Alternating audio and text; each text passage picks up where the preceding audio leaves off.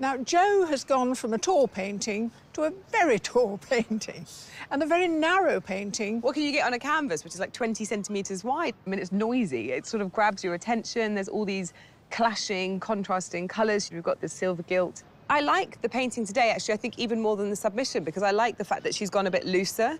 It's an extraordinary palette, isn't there? I mean, the very unusual range.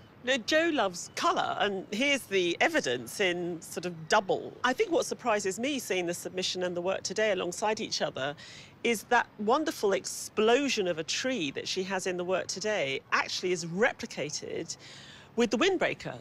There are lots of similarities and consistencies across the two.